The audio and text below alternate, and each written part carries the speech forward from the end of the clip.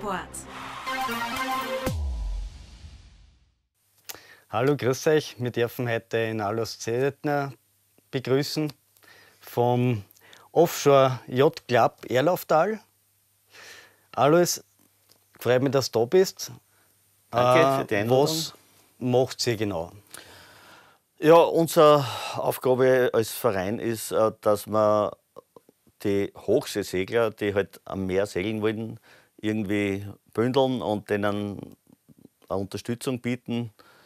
Anfangen tut das mit einer Ausbildung, die wir anbieten, äh, so alle paar Jahre. Oder früher haben wir sogar fast jedes Jahr zusammengebracht, einen, einen Ausbildungskurs, äh, FB2 nennt sich das, äh, fürs Meer.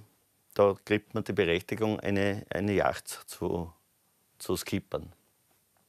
Das ist einmal der Anfang, diesen Schein.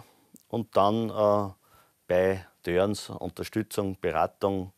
Äh, es gibt dann noch eine Versicherung durch unseren Verein, wenn es Rechtsschutzstreitigkeiten gibt mit Vercharterern oder bei, bei Rechtsunsicherheiten, Vertragsunsicherheiten, bei Charterverträgen etc.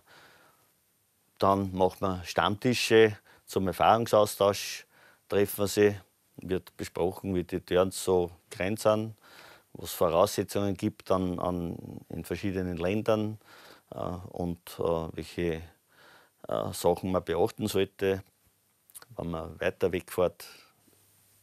So Wie oft kommt ihr da so zusammen? äh, wir im Erlauftal haben äh, einen, jährlich, äh, einen, einen monatlichen Clubabend, jeweils im letzten Monat im Monat, im letzten Montag im Monat. Äh, derzeit sind wir beim Café Rossini in Burgstall, weil das vorherige äh, Gasthaus zugesperrt hat. Wie viel kommen da so zusammen im Schnitt? Naja, das ist ein bisschen unser Sorgenkind. Wir haben eigentlich 95 Mitglieder und beim, äh, beim Clubabend, ja, dann sind es vielleicht 5, 10, 15. Wenn wir eine Veranstaltung haben, das heißt, dass wir einen Vortrag bieten können, zum Teil von Weltumsegler oder sonstige Erfahrungsberichte, dann haben wir auch schon Veranstaltungen mit 200 Leuten gehabt. Aber sonst bleibt es eher ein intimer Rahmen, wo man sich einfach bespricht. Der Alois hat mir ja schon erzählt, dass das eigentlich nicht ähm, Binnengewässer stattfindet, wie zum Beispiel der Attersee, sondern das eigentlich auf das Meer beschränkt ist. Ja, es gibt ein paar Binnensegler auch und, und manche äh, machen halt auch eine, eine kurze, äh, vielleicht einmal einen Tag am Binnengewässer oder sie haben vielleicht sogar ein Boot an Neusiedlersee. Aber das Hauptinteresse von uns besteht natürlich an der Seeseglerei, nennen sie das, wobei See äh, im, in unserem Sprachgebrauch Meer heißt. Die meisten beginnen in der Adria zu segeln äh, und äh, natürlich wird das Interesse dann immer größer. Ich war mal da in Ex-Jugoslawien angefangen, so klar. Und ja, dann fährt man mal äh, Malta oder Sizilien oder Irland, bin ich dann auch schon äh, ein paar Mal gewesen. Oder ja, dreimal Karibik ist dann schon ja, das, eher das Traumziel für die Segler. Aber wir haben ein paar dabei, die in der Südsee auch schon waren. Nicht? Wie kann man sich so einen Segeltörn vorstellen? Naja, äh, für einen, für einen Mitsegler ist, oder sogenannten Badegast ist relativ einfach. Ne? Der, der sagt, ich möchte mitfahren, zahlt seinen Obolus und ist dabei. Äh, für den Skipper ist das ein bisschen, ein bisschen aufwendiger. Der muss einmal ein Boot organisieren. Äh, da geht man zu einer Agentur oder zu einer Charterfirma und äh, mietet für einen bestimmten Zeitraum eine Yacht. Äh, da gibt es eine Anzahlung, einen Chartervertrag und nebenbei muss man sich dann noch um die Flüge kümmern, meistens, wenn man, wenn man gerade mit dem Auto in die Adria fährt. Das Boot übernehmen am Stützpunkt ist auch dann noch einmal so ein, ein Job für ja, etwa zwei Stunden.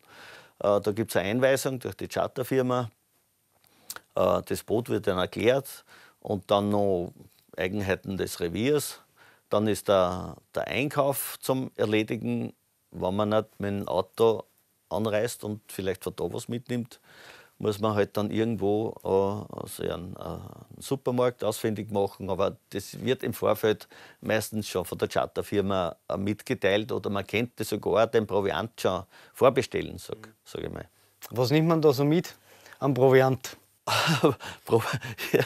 ja, das ist verschieden, äh, je nach äh, äh, wie aufwendig man die Küche gestalten will. Wir haben schon wirklich äh, Köche mitgehabt, die sehr, sehr viel äh, Gewürze mitgehabt haben und die normalen Lebensmittel. Äh, man macht sich das Frühstück, wie es bei uns halt ist. Und zum Mittag gibt es irgendwas Kaltes und auf die Nacht isst man ja was, geht man essen, was Landestypisches. Ne? Mhm. Äh, man kann Sport ja auch machen und nimmt sich schon ein Erdäpfelgulasch von daheim mit, und, aber das ist nicht mein Verständnis von Urlaub. Das heißt, äh, fahrt ihr da dann äh, auf den, am Abend dann ein Buch da oder wie funktioniert denn das? Ja, entweder man, man ankert in einer, in einer Bucht, wobei es ja eh schon die Ankermöglichkeiten speziell in Kroatien sehr beschränkt sind. Da gibt es Bojenfelder, da sind einfach äh, so Ankerbälle äh, verankert am Grund und da macht man fest mit einer Leine äh, an diese Bojenfelder und äh, da zahlt man halt für, für eine Nacht einen bestimmten Obolus, zum Teil weiß ich, 50 Euro oder was, dass man da, da äh, festmachen kann. Mhm. Oder man geht in eine Marina. Ne? Da hat man dann einen Liegeplatz, kann aussteigen ans feste Land und hat meistens eine Infrastruktur da, eine Stadt in der Nähe oder ein Restaurant oder die ganze Marina-Infrastruktur mit ganzen Sanitäranlagen. Das heißt, dort kann man sich ein bisschen gemütlicher gestalten. Dort, das ist wie ein hoch gut ausgestatteter Campingplatz, sage ich mal, so eine Marina, nicht, wo man wo man Sanitäranlagen, Waschanlagen, Restaurant und, und alles zur Verfügung hat. Kostet natürlich ein bisschen mehr, nicht? aber die meisten ist es wert. Die wollen, manche wollen vielleicht jeden Tag oder ja, jeden Abend duschen. Ich brauche das nicht unbedingt, das ein bisschen Salzwasser. Äh, das ist gut für die Haut. Wenn das drauf bleibt, das Salz, macht nichts. Wie lang ist da generell so der Aufenthalt von bis? Das Übliche ist eine Woche. Eine Woche ist äh, von sozialen Aspekt auch ganz gut. Da, da kommt man nur ganz gut miteinander aus, auch mit solchen Leuten, mit denen man sonst nicht Urlaub machen würde, vielleicht nicht. Aber äh, wenn man 14 Tage unterwegs ist, wird es schon ein bisschen enger und da muss man sich die Leute, mit denen man fährt, schon vielleicht ein bisschen genauer anschauen. Ich fahre gern mit Neulingen, weil, weil die alle so große Augen kriegen, wenn, wenn mal eine Windböe kommt und das Schiff umlegt. Und die erste Frage ist immer, kann das eh nicht untergehen? Und dann sage ich, nein, das kann nicht untergehen. Und dann sind sie ganz beruhigt und dann ist meistens alles okay. Wie viele Satzen da immer so benannt, wenn Sie segeln fahrt? Äh, verschieden. Eine gute Gruppengröße ist so fünf, sechs Leute ich bin mit 10 auch schon gefahren. Was kostet das circa, wenn man sagt, so in der Gruppengröße mit dem Boot, was man dafür braucht? Wenn man ja, nicht ein total ausgefallenes Revier muss man rechnen für 45 Fuß Boot, das ist so circa 14, 15 Meter lang. Äh, vier Wochen in der Nebensaison wird man vielleicht mit 2.500 auskommen. Mit der Hauptsaison können es auch 5 oder 5000 werden oder mehr, wenn man ganz ein neues Schiff vielleicht hat. Und äh, die Anreisekosten noch mit Auto in die Adria ist, relativ billig. Aber es ist das Fortfliegen nach Griechenland auch. Wir sind letztes Mal nach, voriges Jahr nach äh, Corfu geflogen.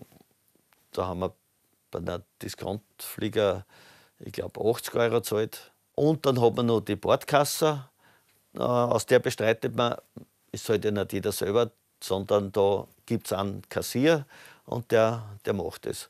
Äh, da zahlt man einmal was weiß ich, 300 Euro ein. Ja, wenn man nicht aufwendig lebt, kommt man davon und sonst äh, muss man nachschießen. Ne? Das, man bestreitet daraus das Essen, die Einkäufe, äh, dann die äh, Benzin- oder die Dieselkosten dann noch und, und Liegegebühren, die oft in in Capri haben wir voriges Jahr über 300 Euro gezahlt für eine Nacht. Nicht? Das ist viel, wo du sonst vielleicht maximal ein 100er wo zahlst. Nicht? Aber da waren wir halt auf Capri. Nicht?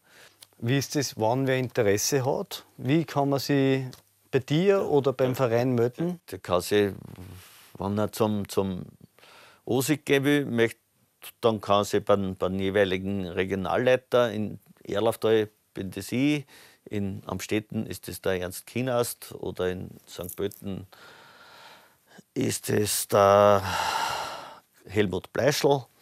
Und da kann man sich, kann man sich einfach reden und sagen, ich will Mitglied werden. Oder man geht ins Internet www.osig.at, äh, macht auf und füllt eine Beitrittserklärung aus und ist dabei. Kann man auch mal zu einer Infoveranstaltung kommen oder zu einer Mitgliederversammlung? Wir, wir sind froh, wenn wer zu einem, zu einem Clubabend kommt und, und sich äh, da was anhören will oder einfach was wissen will, dann sind wir gern bereit.